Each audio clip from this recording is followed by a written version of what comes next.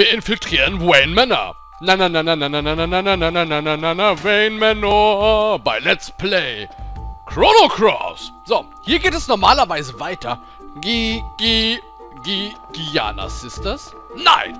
Aber zu Giana Sisters ist ja, glaube ich, momentan was bei beim Kickstarter Crowdfunding-Portal irgendwie in der Mache, dass irgendwie ein Nachfolger zu Giana Sisters produziert wird. Hey! Den Knaben kennen wir doch noch. Grüß dich. Was? Ist schon wieder runtergefallen. Wie oft muss ich es noch sagen? Es sind nach rechts und nach links. Verstanden? Ähm, ähm, ich schreibe das besser auf, bevor ich das vergesse. Genau, schreib es auf. Sollen wir ihm folgen, um zu gucken, wo er es aufschreibt? Könnte ja was mit der Eingangsstatue zu tun haben. Nun denn, reden wir erstmal mit denen hier. Der Code für die Falle ändert sich jede Woche, wisst ihr. Zufallsnummern funktionieren nicht. Warum funktionieren keine Zufallsnummern? Das sind... Es ist doch zufällig, ob es funktioniert oder nicht, wenn ich zufällig die richtigen Nummern rausfinde oder etwa nicht. Im Guide der Gast des Generals aufgetaucht ist, sind Monster im Anwesen auch ebenfalls aufgetaucht. Ich möchte den Gast des Generals nicht entehren, aber ich habe ein dumpfes Gefühl bei ihm. Hm, merken wir uns das mal, dass hier Monster aufploppen. Ein Gesandter von Por ist wegen der gefrorenen Flamme hier. Aber mein Gefühl sagt mir, dass er bereits, äh, dass er das bereits weiß. Mein Instinkt sagt mir auch, dass ein Spion von Por anwesend ist.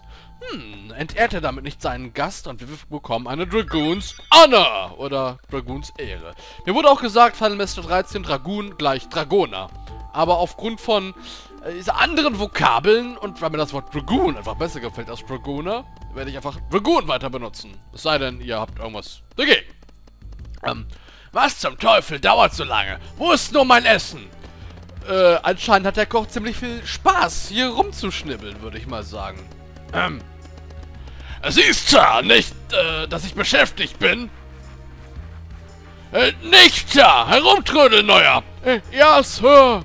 So, jetzt ist der neue endlich mal kurz hier weg. Gucken wir uns doch mal genau hier um. Hier sind Vorräte, hier ist ein Schrank. Oh, wir bekommen ein Turn Green Element im Schrank. Ich finde die Animation vom Koch geil. Was ist das, Karotten oder was schnibbelt der da? Obwohl es sieht nicht aus, wäre er schnibbelt, sondern eher rumjonglieren. Ähm, verdammt. Ich wünschte, ich hätte etwas Einfacheres gewählt. Ich finde keine Zeit für Ermittlungen. Ah! Bumm! Es ist nichts. Sanji? Nein. Sonst würde er wahrscheinlich mit seinen Füßen spülen oder sowas. Hm. Es ist verstopft. Äh, ich meine verschlossen. Hm. Ob wir da jemals etwas dran ändern können? Nee, wissen wir nicht. Oh, ein Speicherpunkt. Ausgezeichnet. Den werde ich, glaube ich, gleich auch mal gebrauchen. Oh, da vorne ist auch Glenn. Mal sehen, was hast du denn hier zu sagen? Der, der Glenn dort drüben ist der jüngere Bruder Darius, eines der vier Dragoon Devas. Hm. Dort. Was dort? Dort! Was dort? Dort! Was dort? Dort! Mund? Nein, es gibt eine Nachricht auf der Wand. Dieser, der Code für diese Woche ist 4 nach rechts und 3 nach links. Natürlich, für alle offensichtlich an die Wand geschrieben. Moment, ich werde... Ja, 3 und 4, das soll ich eigentlich merken können, aber wer weiß, wann ich dahin komme. Ähm, es wird eine große Expedition bald starten. Die meisten der Dragoons werden, nach, werden rausgeschickt. Ja, das war jetzt gerade mehr oder weniger ähm, on the fly übersetzt. Es tut mir leid, dass ich es wage, so etwas zu tun. Alles, was er tut, ist schlafen. Äh, immer nur stottern und irgendwas träumen. Hm. Es ist drei Jahre her, seit Dario tot ist. Miss Riddle ist seitdem ziemlich schwermütig und es scheint, dass alles Leben aus diesem Anwesen verlassen, äh, dass alles Leben dieses Anwesen verlassen hat. General Viper zeigt es nicht, aber ich bin mir sicher, dass auch er darunter leidet. Hm, interessant. Habt ihr die Maschinerie draußen gesehen? Miss Lucia hat äh, kaputte Teile von Fort Dragonia rausgebracht und äh, benutzt sie nun, um äh, dieses Ding zu remodellieren. Was für ein Ding! Das in dieser Schatztruhe? Nein, es ist ein Revive-Element. Revive-Element, glaube ich, das einzige Element, was dazu beiträgt oder was, äh, was Wiederbelebung verursacht, sozusagen. Und wir Charaktere, die tot sind, direkt im Kampf wiederbeleben können. Es gibt, soweit ich weiß, nur drei davon im ganzen Spiel, deswegen äh, wichtig, wichtig, das mitzunehmen.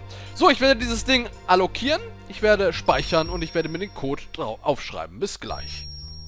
Okay, ich bin wieder zurück und wenn ich es schaffe, durch diese Tür zu gehen, dann bin ich auch wieder draußen. Yay! Hier kann es tatsächlich passieren, dass aus dem Nichts irgendwelche Viechers auftauchen und...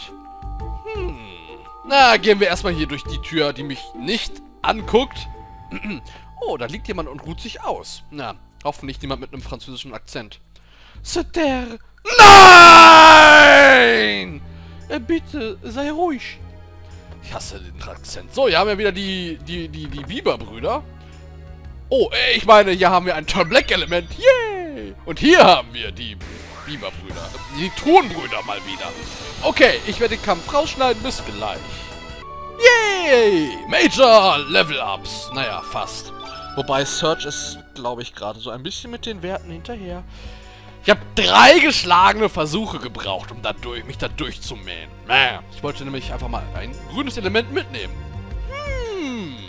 Na, ich gehe erstmal hier lang. Oh, erkennt ihr das, was da rechts ist? Das ist die Eingangshalle. Und seht ihr, was das Gelbe hier ist? Nicht das Gelbe. Gabi. Oh, Gabi. Hey, Gabi. Ja, hab dich nicht am Gesicht erkannt. Nicht eintreten, bitte rumgehen. Ich kann aber nicht rumgehen, weil dein Hintern zu, deine Frisur zu groß ist. So, hier an diesem Statue kann ich nichts machen. Und da komme ich nicht dran vorbei. So, was haben wir hier? Das Auge. Sauron guckt mit. Es läuft. Die Olympischen Spiele. Hm, apropos Olympische Spiele. Gestern, ähm, Portalgeist. Oh, wie kreativ dieser Name ist. Der Portalgeist geht mir gerade so mächtig auf den Sack. Da schon wieder angreifende Türen. Ich weiß nicht, ähm, dieses Viper Männer erinnert mich so... Was heißt erinnert mich? Nein, es erinnert mich nicht, aber so ein bisschen, weiß nicht warum, dieser Portalgeist-Gegner äh, erinnert mich dann doch so ein bisschen an die Nibelheim Shinra Villa aus Final Fantasy VII. Nur zum Glück sind diese komischen Typen, die auf den Klingen von der Decke hängen und da herummachen. Triff. Wehe, du triffst nicht. Triff. Das darf nicht wahr sein. Triff!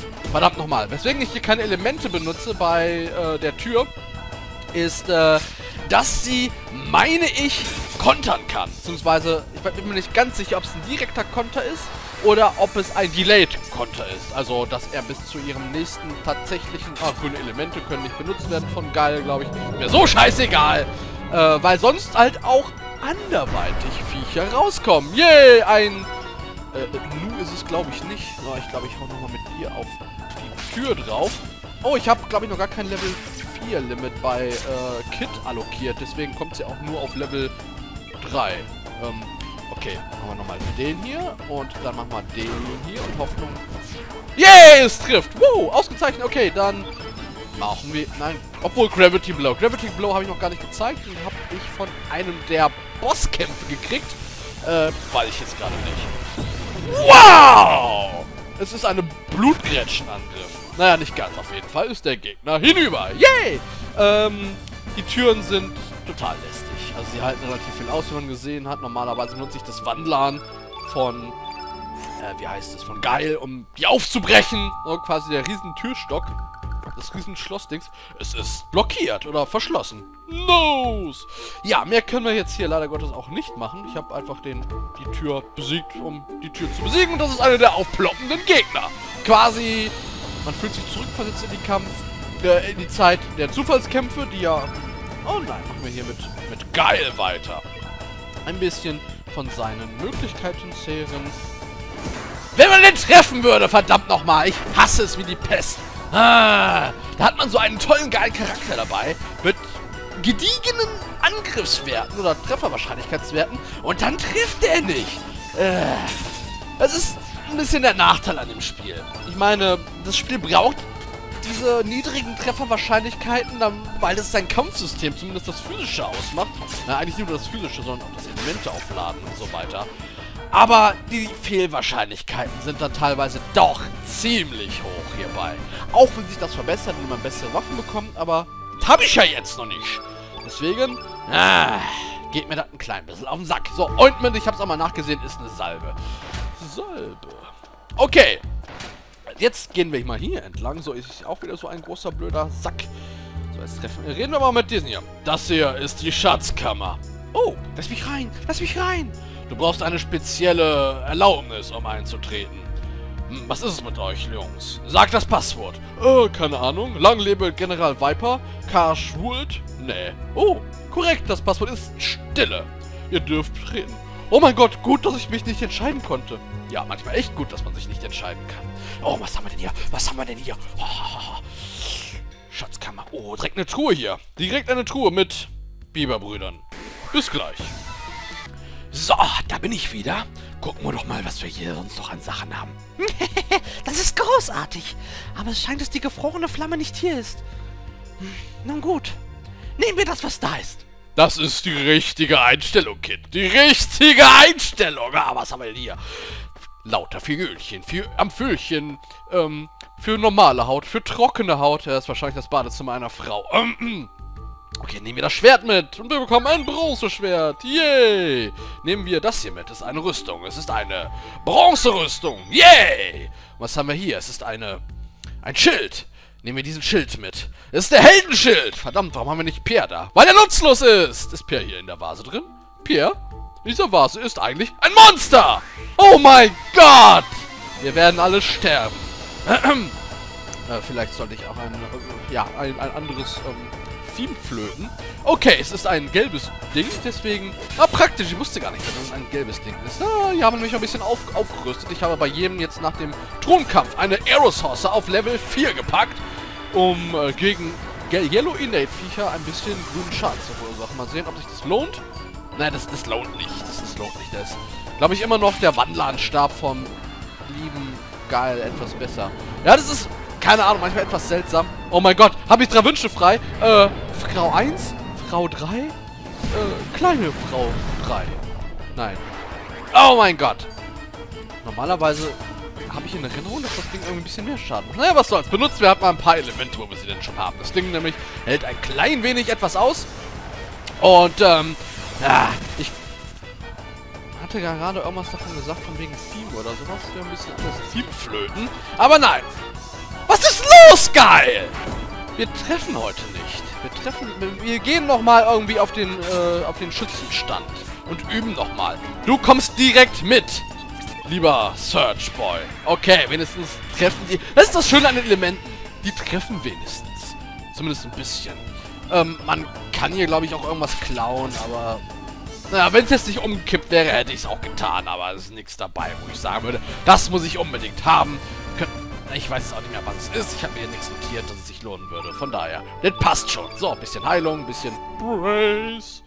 Und wir müssten hier noch ein Turn-Red-Element rauskriegen. Ausgezeichnet. Ja, damit haben wir soweit alles gelootet, scheint es. Abgesehen hiervon. Hm, was haben wir denn da? Ist ein Schatz an der Wand. Greifen, vorsichtig nehmen, nervös nehmen oder zu ängstlich sein, um es zu nehmen. Ja, ich bin ein Hasenfuß. Äh, ängstliche Bengels leben länger. Das muss etwas wie eine Falle sein. Wir sollten das hier lassen. Was auch immer, grapsch es einfach. Ja, natürlich hört Kit, äh, ich meine hört Search auf Kit. ist nämlich vereinnahmt. Oh mein Gott! Es ist ein Müllschluckerwand. Nein, das ist eine Gefängniswand. Das ist ja mal praktisch. Habe ich es nicht gesagt? Äh, es ist nur ein kleiner Ausrutscher. Wir haben aber den Schatz dafür. Oh, Wer ist das? Die Bardame. Ähm, ich hätte gerne drei Gin Tonic und... Ruhe! Oh, sie hat ein Stofftier eingeschlossen. Du auch, Pip! Hm. Was? Hm. Ich sehe, ihr seid nicht wirklich Dragoons. Eigentlich sind wir nur... Mh, nun... Egal, kommt raus. Oh, das ist aber nett. Wir, wir sehen äh, wahrscheinlich sehr vertrauenserweckend aus. Vor allem Kit als blond gelockte Jünglingsfrau. Hm, okay, dann können wir gehen. Hm, äh, wer, wer bist du? Warum hilfst du uns? Oh, oh, oh, oh. Vers sagte irgendwas von helfen. Ähm, wir können jetzt abhauen, meine ich nur. Ähm, ich bin das wissenschaftliche Genie des Viper-Anwesens. Bitte nennt mich Lucia.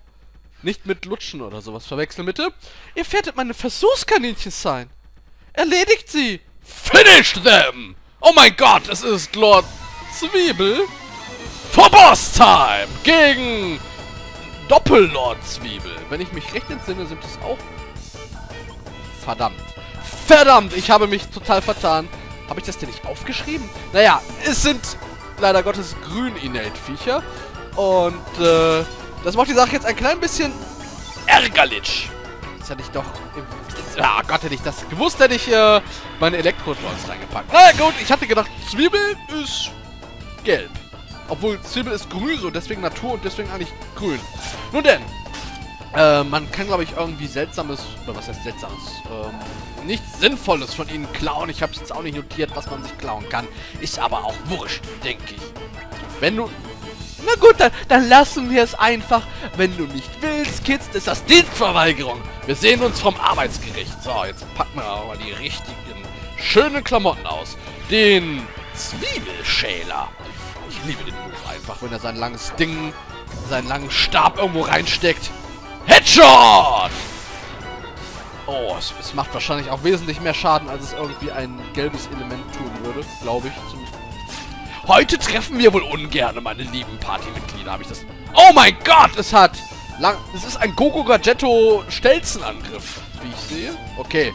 Es ist tot, Jim! Yes! Also dafür, dass es ein Boss war, war das doch sehr mickrig. Lohnt sich das Elemente einsetzen ja schon fast gar nicht. Und wir kommen wieder. Major Level Ups. Und... Ja, das... Das sieht gut aus. Das sieht... Ah, das sieht... Das, sieht, das stimmt mich wieder gut. Oh, sind wir fröhlich. So fröhlich. Ah, schade. Schade, schade, schade. Ich glaube, als seltenes, äh, als seltenen Drop droppen die Viecher auch Eagle Eye. Ich hatte in meinem Testrun jedenfalls hier ein Eagle Eye Element bekommen. Wunderbar. Beim Sieg über meine Knollen habt ihr meine Erwartungen übertroffen. Und nun geht bitte. Werden wir gehen? Oder können wir uns ein Andenken mitnehmen? Das erfahren wir in der nächsten Folge von Let's Play Chrono Cross. Bis dahin verbleibe ich euer wundervoller Bernd. Bis dann. Ciao.